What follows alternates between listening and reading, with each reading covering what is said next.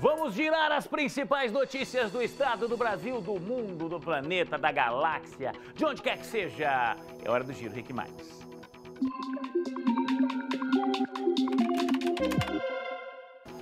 Bruninha Mello está de volta, ela que já deu as caras por aqui, né, para falar do tempo. E agora vai falar de polícia, né, Bruninha? Que história Pois é essa é, aí? Juliana. Uma mulher foi pisoteada por uma vaca, Bruna. Boa tarde. Mais Boa tarde, Juliano. Boa tarde novamente para todo mundo que está acompanhando o Balanço Geral. Trouxe então dois destaques de polícia do domingo para a gente entender o que que aconteceu no Paraná nesse final de semana. E a gente começa então por esta ocorrência de São José dos Pinhais, que fica do ladinho de Curitiba, na nossa capital. Esta mulher de 55 anos, na manhã de domingo, ela foi tirar leite ali da vaca dela. Só que a- o animal, ele teve ali um momento de ele ficou muito bravo, não gostou do que estava acontecendo e ele pisoteou essa mulher. A situação foi tão grave que ela precisou de socorro aéreo. Ela foi, ela foi levada até Campo Largo, no hospital de Campo Largo, para ela poder ser socorrida, porque ela estava com suspeita de uma lesão na coluna. Então, assim, foi muito grave. Uma ação que ela já é acostumada a fazer, ela já cuida ali de animais, é um sítio ali na região rural.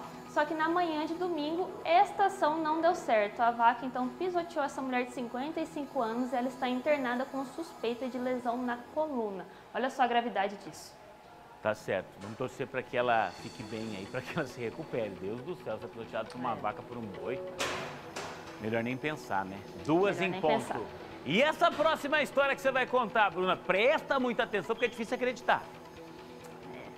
Olha, veja bem, domingo, então, foi dia dos namorados. Nós estamos falando de Ontem setor também. policial, conhecido como ontem, foi dia dos namorados, dia 12, então, de junho. Em Umuarama, no noroeste do Paraná, um senhor de 50 anos, ele foi alvo de assaltantes. Ele estava na padaria ali por volta das 5 da tarde, quando um assaltante chegou, ele estava ali no caixa e apontou uma arma para ele. E ele pediu o dinheiro, mas fez com que ele tirasse a aliança de ouro dele também. E aí eu te pergunto, aonde foi parar essa aliança? No dedo de quem, né? Por quê? A polícia militar foi acionada e não encontraram nem a aliança, nem os suspeitos desse assalto. A mulher, ela foi ali, a mulher não, perdão, o homem de 50 anos, ele perdeu a aliança, perdeu o dinheiro também e ficou o registro no dia dos namorados. Ele que já era ali, era uma aliança de casamento, de ouro, perdeu. E onde foi parar, ainda não sabemos, porque até o fechamento da matéria não tinha encontrado nenhuma das coisas. O duro é isso, né? O cidadão, ainda, bem que tem boletim de ocorrência, que tá no Rick Mais, porque o cidadão É. chega em casa no dia dos namorados e fala assim: amor, chegaram da padaria pra assaltar, levaram quanto do caixa? Nada, só levaram minha aliança. É, Como é que ele não, convence a patroa?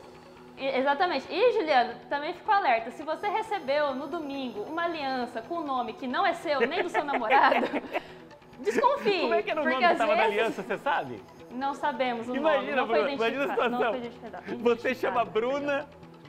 O seu namorado chega e te. Olha, essa aliança é pra você. Amor, mas tá escrito Andréia aqui. Ah, é o nome da Então. vendedora.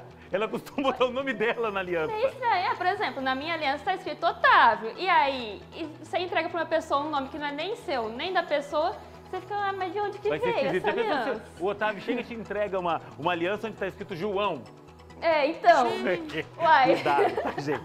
Obrigado, Bruninha. Mais informações, riquemais.com.br.